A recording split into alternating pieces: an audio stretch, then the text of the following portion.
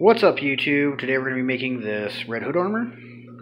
Uh, this isn't specifically based off of anything. This is just very much my own design and concept.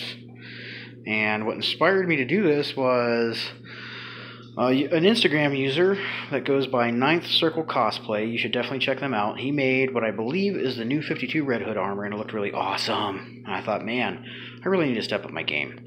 So I went ahead and made this and there's a lot of cool straps and different things on here. Serves no purpose or function, it just looks cool. I wanted this to have kind of like a Arkham Games meets the whole Batman versus Superman, Warner Brother Justice League universe style. And I even took some of the influence, even from Superman, and sort of these winged edges here. Of course, they're armor plates, not cloth looking screen printed cloth like Superman's costume, but wanted to draw influence from as much of that as I could.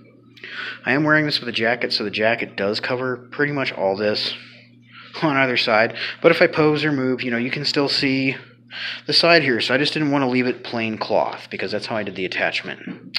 Alright, so let's go ahead and jump into the build video. Alright, so the first pattern piece I've made is the chest piece, and I got this by saran wrapping and duct taping my chest area. And I had to cut this slit in here to get it to lay flat so I could trace it out onto the foam. For the foam, I used some thick, flat EVA floor mats. Excuse me, these are about, mm, I want to say 12, 13 millimeter thick. They're pretty heavy duty. This is what I'm going to use for the chest.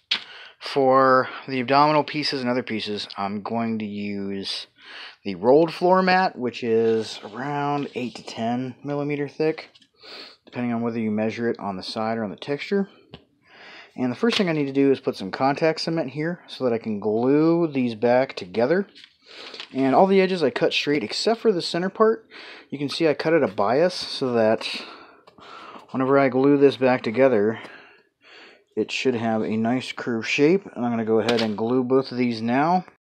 Alright, now that I got both of these seams glued together, you can see it's starting to have some shape. I'm going to have to sand down this edge here. But before I do that, I've already gone back and used a little bit of hot glue just to help make sure this stays in place. This foam is very thick, very dense, and even with the barge contact cement, it still kind of wants to pull apart. What I want to do is start putting some shape into this side area right along in here so I put some curve into it. And this top piece as well needs to slope back some. And in order to get the foam to do that and stay in place I'm going to use a heat gun. Since I've already got hot glue on here I'm going to be careful not to heat this up because it will cause the glue to melt which can then burn you or get on you or any number of things. But I just didn't trust it to stay together so I'm going to go ahead and start with this edge and then start working my way up.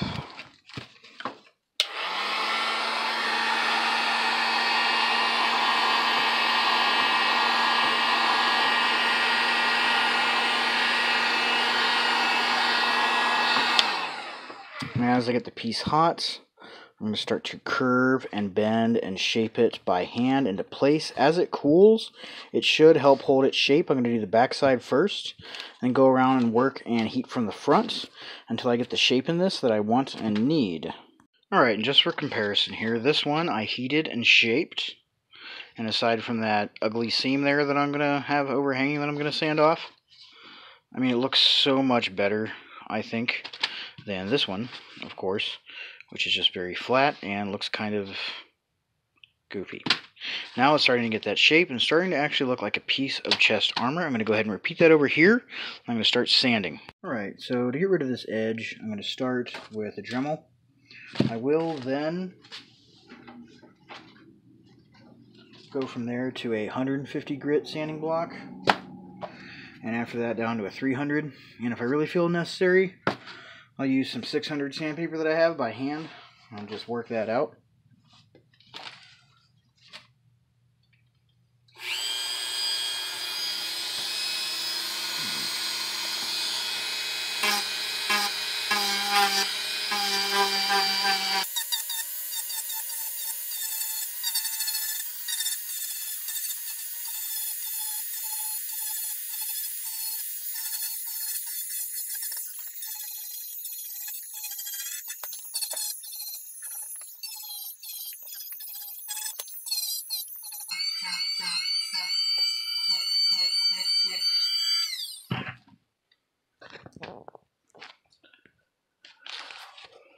Okay, so as you can see, I'm nowhere near close to done, but that's just to give you an idea of about how long it'll take you, depending on how sharp your point is and how much you want to get rid of. I've already got rid of a decent bit of it.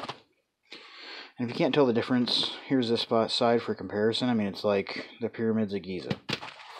In comparison to this, which is already starting to get nicely rounded out. I'm going to go ahead and work on this some more and then move on to hand sanding. Okay, so that probably took more time and effort than I really wanted to put into this with a Dremel, but I have a nice rounded edge now in comparison to before. Uh, it's not perfect, but like I say, I'm going to go through with 150 grit block and then 300 grit block and smooth and even this out. But I am done with my sanding blocks. I'm going to go back to my heat gun again, put it on high, and I'm going to use this to help smooth out all these areas where I've sanded by sealing up the foam.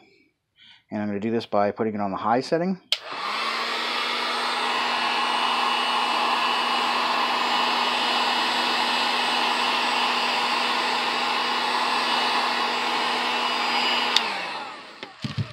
See how it's all shiny in comparison to this one, which is all dull. It's because the foam is sealing up. Alright, so I've taken my handy dandy Dremel here, and I have sanded a nice, as even as possible, uh, angle to this edge so it's not so sharp and looks less, less like a foam mat. At least I'd like to think. And I got myself a fresh thing of Barge all-purpose contact cement.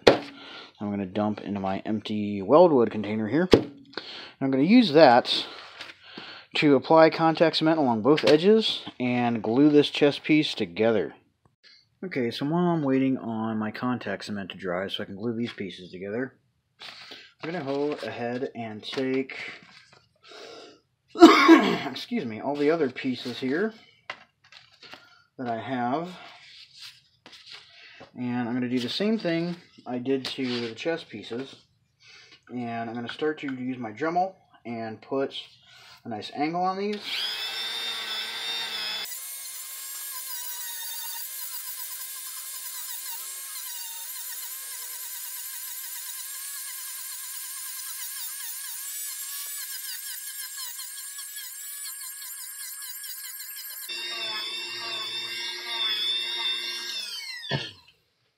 Okay.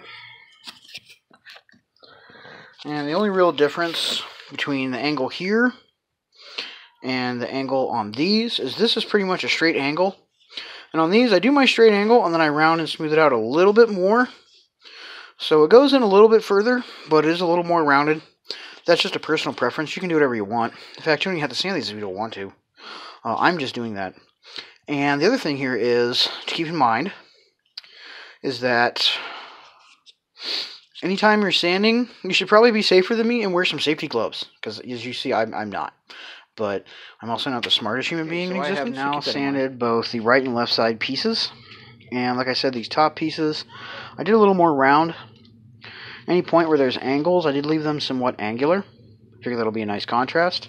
Then these side pieces, I probably put the least amount of angle on, but you're not really going to see them. I am going to be wearing a jacket. If you're not going to be wearing a jacket, you're probably going to want to make a back piece.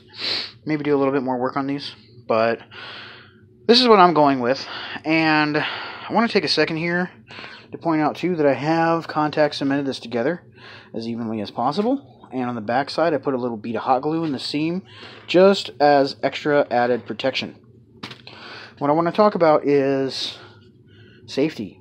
Uh, I'm not sure exactly where this EVA foam is manufactured, but I do know, uh, talking to a supplier, that it, they don't manufacture it in the US, Canada, UK, most countries actually. Mostly places like China, uh, where they don't have as strict laws, which means that this stuff is probably really toxic, especially if you're going to breathe it in when you're sanding. So I want to show you the difference here between these two masks. This one is brand new, this one is not. If you notice how black and gross this is, this has been used for a couple months, and this one is rated for sanding and painting with acrylics, which is what I use for my airbrush. It's not good for oil-based spray paints and adhesives. You need a different type of respirator for that. But my point is, you can see the difference here. All this black, nasty gunk that is from sanding and painting would have been in my lungs. And here you can see a brand new, fresh white one. I'm going to throw this one away because this is old and it's just getting nasty. But safety first, y'all. Always protect your breathing, uh, your, your airways, your lungs, because you don't want this stuff in there, trust me. Alright, and here you can see I've already heated one side using a heat gun. And the other side you can see is flat. And there's a pretty huge difference. And I always like to heat these before I put them together, instead of trying to heat them after they're glued together. In my opinion, it just doesn't work. Even if the seams are a little off or something's a little off, I can get this straight through the contact cementing process. Uh, reform it in the backside and know that everything's going to be good, essentially, if that makes any sense. Like I say, pretty big difference here between heating and not heating. And one thing you always want to keep in mind when you heat your foam is it does shrink up a little bit. So keep that in mind.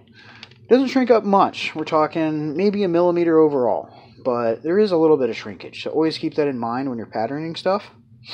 And if you're familiar with this, you're like, man, this guy just doesn't shut up.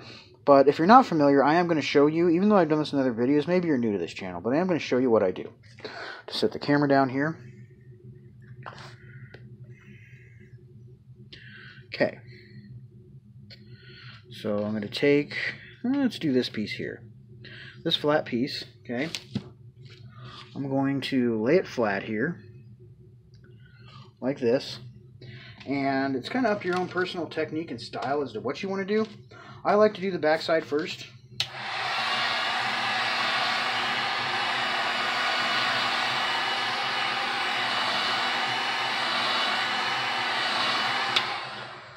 Okay, now that it's hot, it's pretty pliable.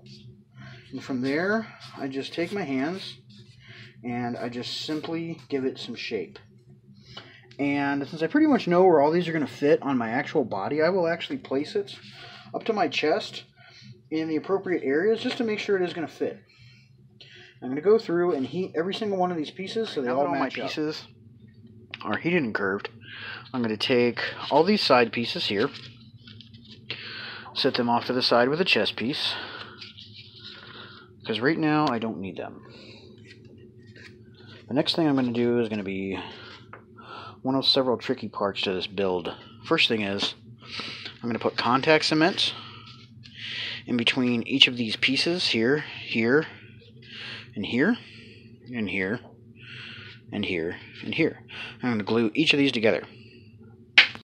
Alright, now that I have each side glued together, I've applied some contact cement to the edges here. I'm going to let this sit and then glue both sides here together.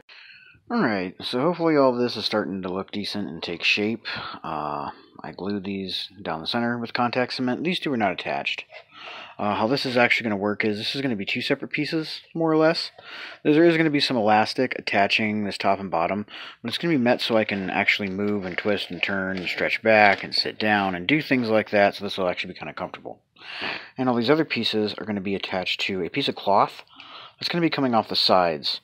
Uh, on each side of, of, this bottom piece, if that makes any sense. And next, I'm going to go and start measuring and cutting my cloth so I can start putting all this together. Alright, so the next part of all this was I took and glued all the side oblique pieces together.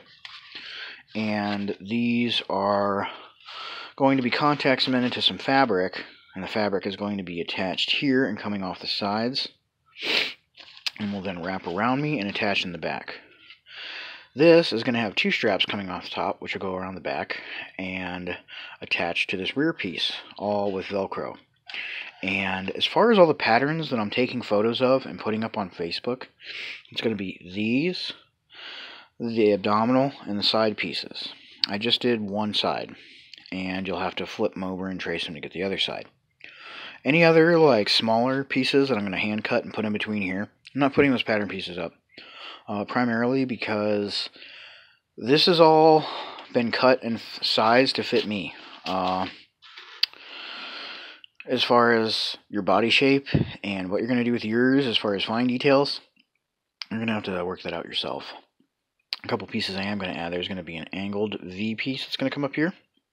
There's also going to be some elastic attaching these two, which will give me the ability to have these separate and not directly attached, but I'll still be able to move you know my, my, my, my torso down or I can stretch my arms and bring my chest up and actually move around in this so I don't feel like I'm in a full body cast as I'm trying to walk around a convention or any other thing I may be doing in this.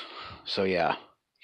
And to measure this fabric, you're probably going to need either the assistance of another person or you're going to need a mannequin torso. I use a sleeping bag because I'm dirt poor and it, it works more or less. But yeah, I'm basically going to lay the fabric out on it and then I'm going to lay this on top of the fabric and I'm going to draw where I want the starting and stopping points to be essentially.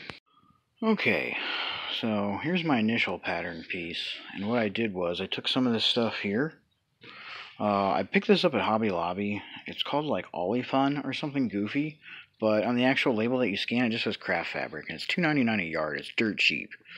Uh, I would suggest actually that you probably don't use this unless you're going to back it with EVA foam, which I will once everything's glued onto it, because this stuff, first of all, isn't very durable. And second of all, I pointed out that, you know, I heated and shaped all this stuff to fit me before I even you know, traced out the patterns to glue it on. Reason for that is this stuff is very thin. Like you can pretty much almost see through it. It's so thin. And the thing is, this stuff is very vulnerable to heat, like from a heat gun. It will a heat gun will straight up melt this stuff. It is synthetic. But since it is synthetic, it's a little easier to contact cement and glue things to this. And what I did was I took my sleeping bag, or if you have a torso or a volunteer, or you use yourself and have a volunteer put it on you, I laid out a piece of the craft fabric. And once I did that, I simply figured out where I wanted the abdominal piece to fit, and then I just traced around that. And then I also went along and drew out roundabout where I wanted my side pieces here to go. And then from there, I took this initial pattern piece and I traced out two more that are going to go on either side. And I also traced out where my pieces are going to go so I know where to put my contact cement so I don't just have it blobbed everywhere. And I'm going to go ahead and glue all these together. Now, one thing about this craft fabric that is highly useful is what I just did, which is to make patterns from. This stuff's really easy to cut. It's almost like cutting paper as opposed to cutting fabric. You know, there's not a lot of jagged edges and stuff. I get a lot of jagged edges because I am not the best with scissors and any sort of material of any sort. But my suggestion to you would be to use something like a semi-stretch or a stretch spandex pleather or actually get like some legitimate nylon material that has the same type of texture that just looks super tactical and super cool.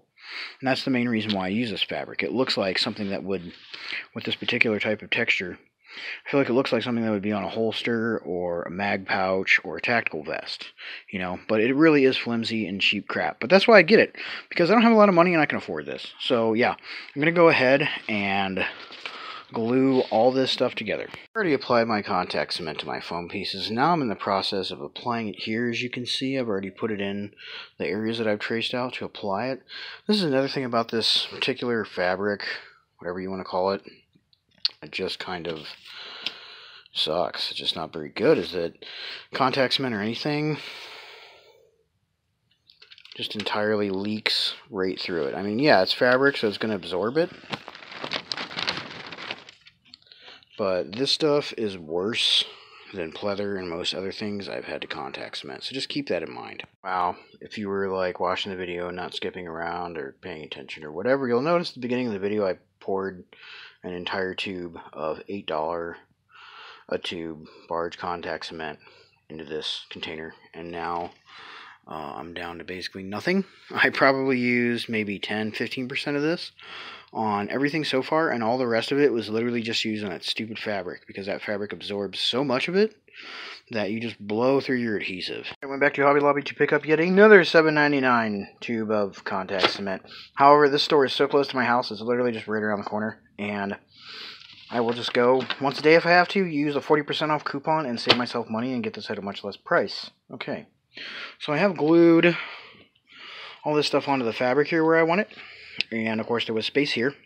So I used some scrap 2mm EVA foam to fill that in. And I also cut out some little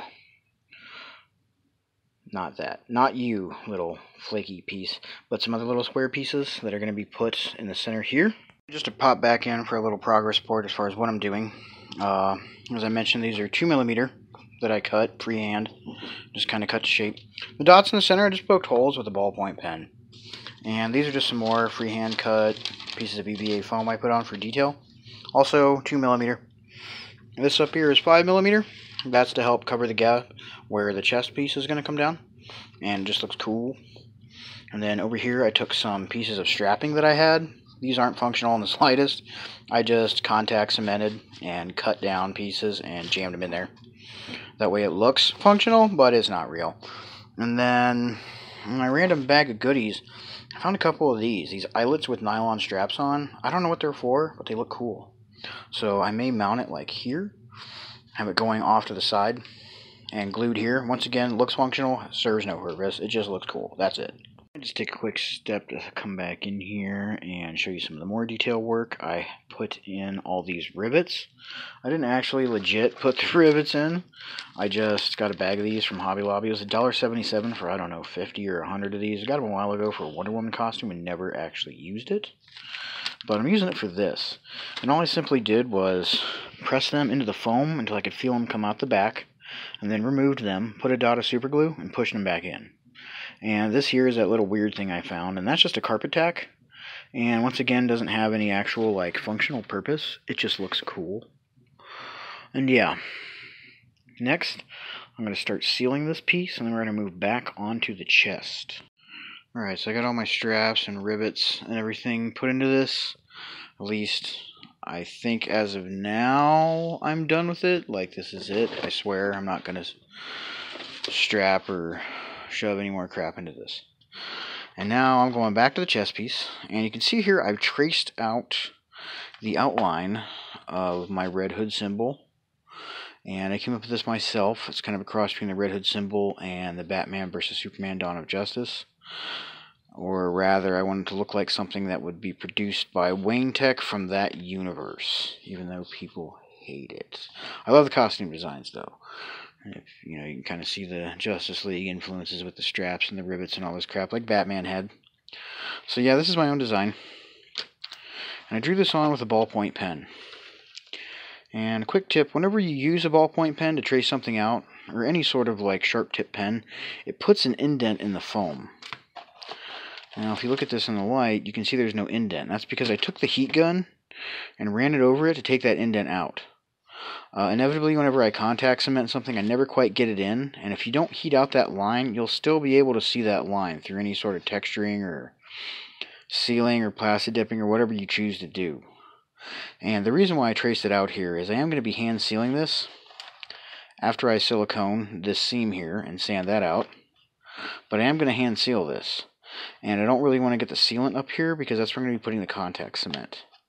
I want to make sure that it has a nice uh, unsealed foam surface to really stick it to.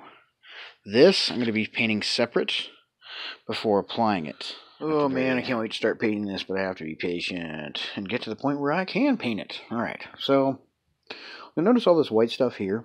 What it is, is a type of silicone caulk from a company called DAP. They're also the same ones that make the Weldwood contact cement. And this is an all-purpose uh, uh, all-purpose acrylic latex caulk plus silicone. And uh, I actually sewed this, uh, sawed this off. The, the, tube is not this short. It's a full length caulking tube that goes in a caulking gun. I squirt it all out into a Tupperware so that I have easy access to just dip my finger or whatever into it and apply it. Now, did this one a little different than what I do in other videos. I use this little tool here I got in the adhesive section at Lowe's. And I was just scraping out a small amount at a time and using it to fill this crack, much like I would with Bondo. And then after that dried overnight, it came in already. And I used a 300 grit sanding block to smooth this out as much as possible. And it's pretty good, but it's definitely not perfect. So I'm going to do a few additional topical layers. And I simply spread it on with my finger. And then I dip my finger in some regular old tap water. And I use that to smooth it out. And that's why you want to get this brand or just an acrylic silicone. Any sort of uh, latex silicone mixture with acrylic. The latex itself breaks down naturally pretty quick, but the silicone itself usually lasts for 20, 30, 40 years. This one I think has a 20 year guarantee. So the silicone acts as a stabilizer with the with the latex, and since it's acrylic, you can thin it out with water, which means, like I was just saying, you can use some regular old tap water on your finger to smooth out the silicone that you have spread on it. Once that dries, you can then sand it. And a lot of times I film myself doing this process, but I'm not in this video. I'm just doing a quick explanation because A, screen time, and B, it's just two small seams. And the truth is, had these seams not separated slightly like they had, I probably wouldn't even done this. I just would have sanded it. And if you can hear that in the background, that is my kitty who is out here saying hello and being crazy. Alright, now that I'm done with the siliconing up on this chest piece, what I'm going to have to do next is attach these two together. And they're not going to be solidly attached, like I said, um, but I need to figure out where this is going to have to sit so I can glue some elastic to the rear of it.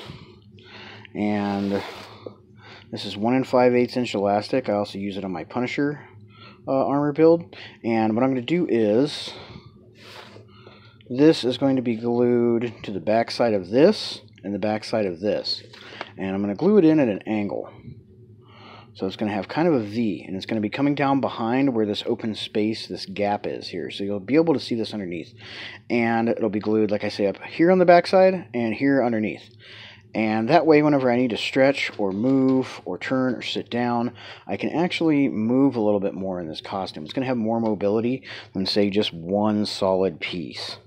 The other thing I'm going to do is I'm going to have to put straps on here. And the straps are going to go up over my shoulders. And I'm going to be wearing a leather jacket. And this leather jacket in particular that I have is extremely heavy. Uh, it was handmade in 1980, which is the year I was born. And it's as old as me, and it is super heavy. So there's several things I could use for straps. I could use elastic, and that'd be fine, but I want something solid. I don't want something that's going to stretch.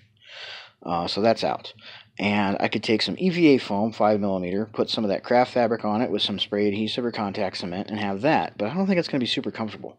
What I do have is an old book bag, and I'm going to cut the shoulder straps off of it to save time and money and make sure I have something nice and soft and comfortable for my shoulders. And I'm going to attach them to the back here. And for me to figure all this out, there's no like scientific method per se for this, except I'm going to stand and first I'm going to, since I already have all this bottom piece built, I'm going to attach this to the lower part of my body, line up where this is, and that'll give me an idea of where to glue my elastic underneath here for the backside. And the same thing, just going to look in the mirror to align where I'm going to attach my straps. I'm going to glue all that stuff together. Okay, so I'm about to glue these backpack straps to this, and I've applied my contact cement.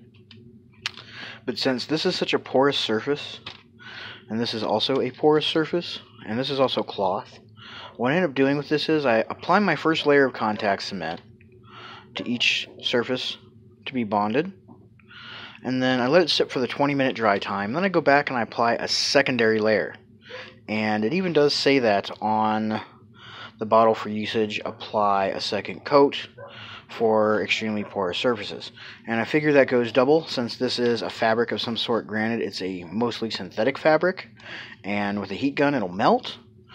So, I mean, it's not like it's, you know, cotton or something where whenever you hit it with a heat gun, it'll catch fire, it'll brown, it'll burn, but it's not going to melt. But this is mostly a synthetic uh, plastic based uh, fiber for the material.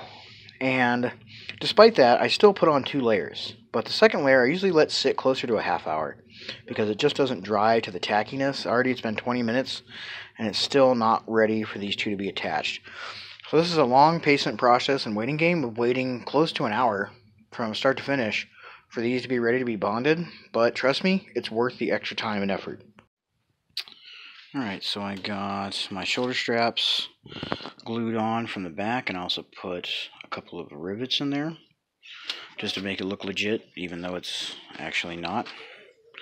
And of course you'll notice these straps are purple, I will be airbrushing them black.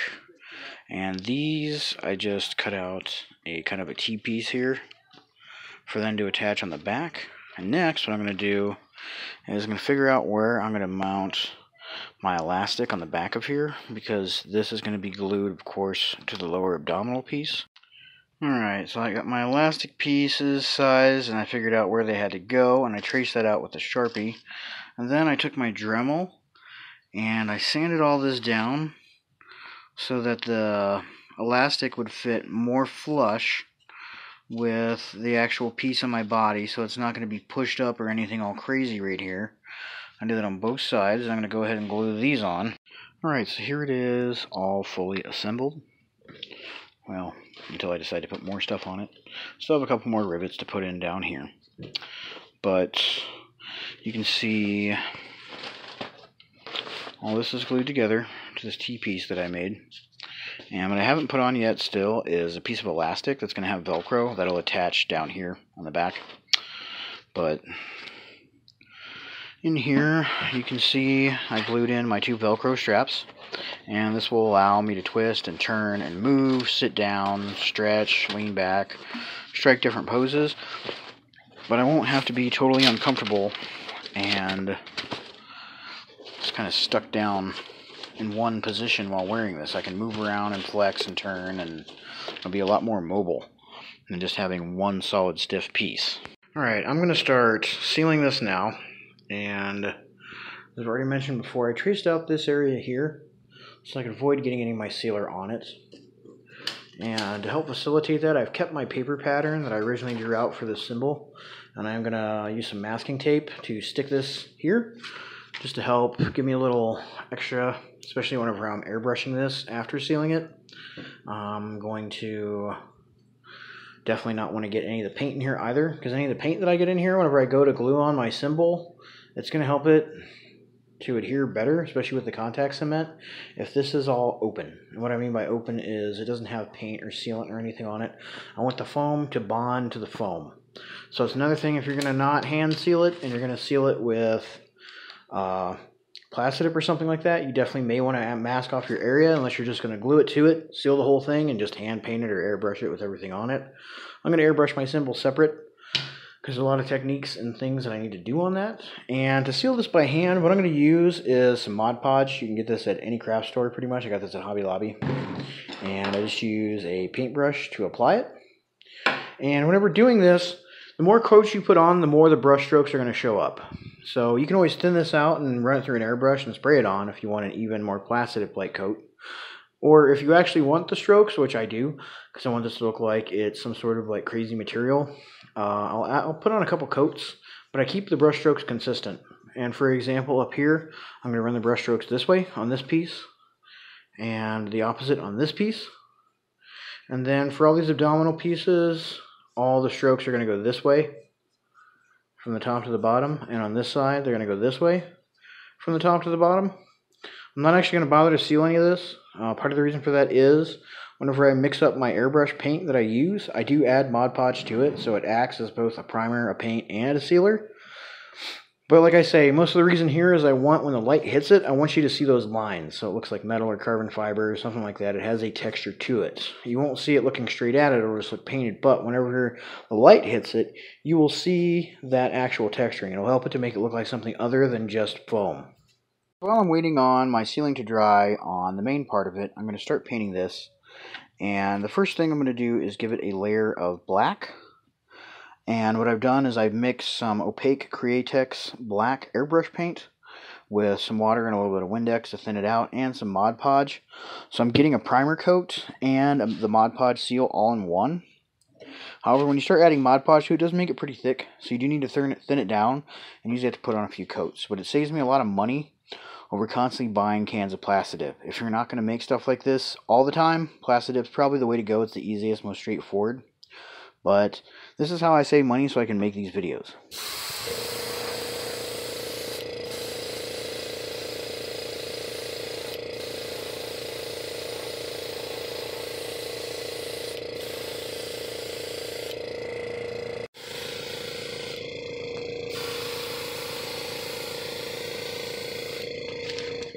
Okay. I've gone over this with several coats until it gets a nice wet look. Uh, that's showing me that the foam is no longer absorbing all the Plastidip and paint and starting to just beat up on the surface. This will also give it a pretty cool texture, which should contrast with the texture of all the brush strokes on the rest of the armor. And now I'm going to go ahead and primer the armor as well. Prime this, I'm going to use the same mixture of black and Mod Podge and all the other etc etc that I just used on the other one. And using the airbrush, I'm going to go ahead and give it a nice black undercoat for all of these pieces here. And I'm going to paint, wait for this to stop. I'm going to paint this whole entire thing black, including these purple backpack straps. Uh, the jacket should cover it, but I don't want anybody getting a glimpse of purple backpack strap. And I've applied my airbrush paint slash Mod Podge mixture together on this one as well and just waiting for it to dry so I can go back through and start doing all my detail painting. Next I'm going to move on to finishing the chest emblem. Alright, back to the actual symbol itself. The black paint slash sealant I put on is now dry and I'm going to use some transparent Createx red, an airbrush of paint and I have added a little bit of Mod Podge to that and I have thinned it down with some water and a little bit of Windex. And this stuff I'm going to put on pretty thin and just layer up.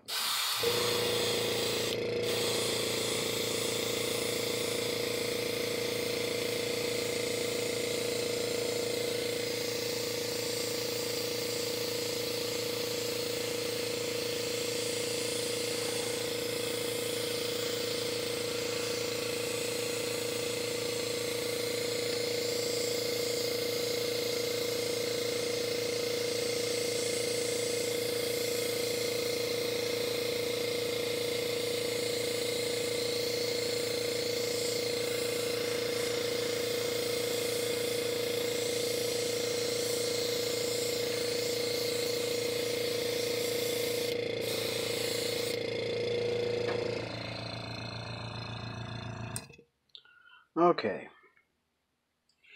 And you'll notice here that it's a little thicker towards the edge and thinner in the center. And overall, I'm just going to gradually layer and build this up on the piece until it looks the way that I want. I don't have an exact uh, tutorial on how to do this. Most of what I do is instinctual and just based on like, do I like what I see? You know, you can always repaint it or change it.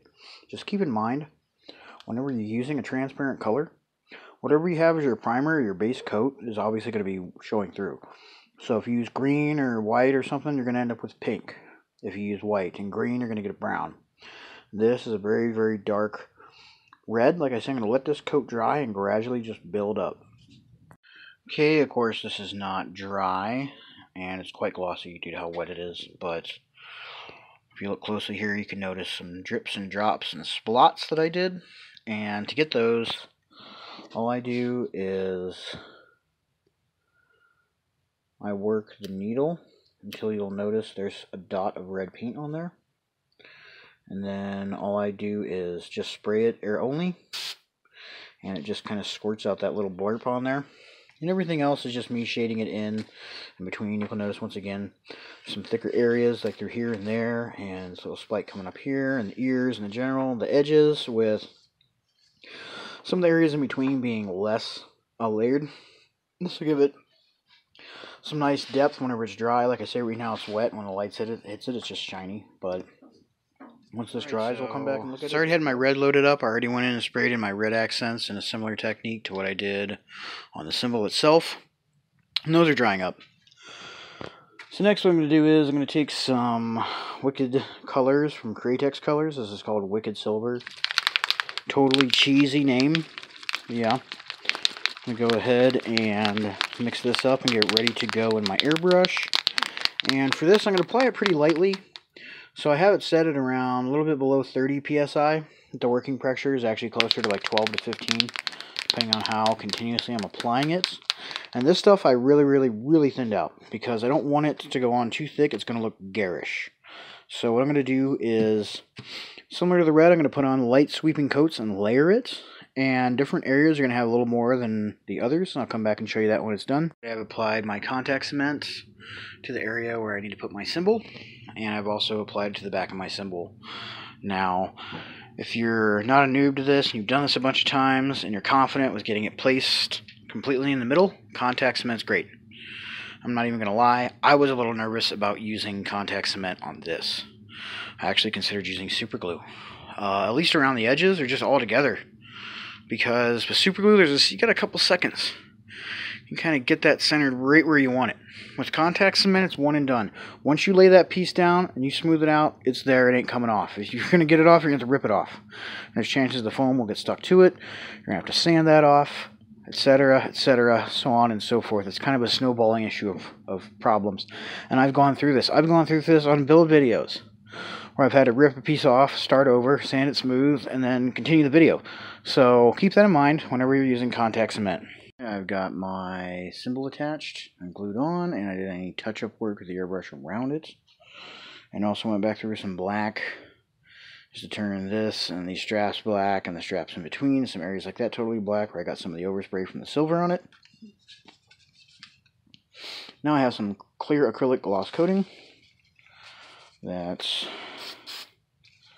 I'm going to go ahead and spray on here.